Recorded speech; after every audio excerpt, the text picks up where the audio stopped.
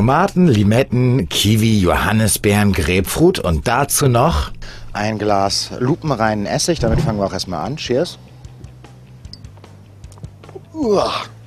genau die richtigen Zutaten für ein romantisches Picknick von Bildmitarbeitern.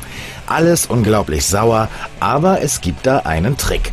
Man nehme kurz vorher eine Mysterious Fruit Tablette, eine afrikanische Wunderbeere in Tablettenform.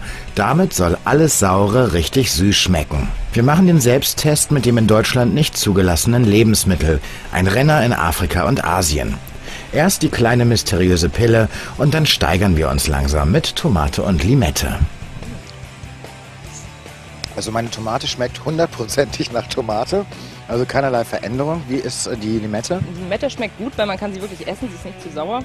Schmeckt jetzt noch mehr nach Caipirinha. Aber sehr, sehr lecker. Dann Grapefruit, Johannisbeeren und zu guter Letzt die Königin der Säure, die Zitrone. Also Sie sehen, wir verziehen die Gesichter nicht. Klappt. Spitze. Total lecker, die Zitrone. Muss mich von gar nichts anderem mehr ernähren. Wir sind begeistert.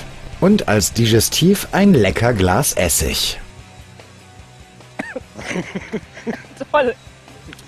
Also, es schmeckt nicht mehr wie Essig, es sondern es schmeckt, wie, es schmeckt ein bisschen wie Zuckerwasser, was, Wasser, Ja. was auf den Magen schlägt.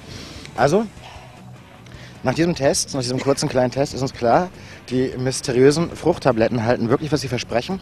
Alles schmeckt verdammt gut, gut gesüßt. Und die packe ich mir jetzt ein und nehme sie mit nach Hause. Tschüss, bis zum nächsten Bild.de Picknick.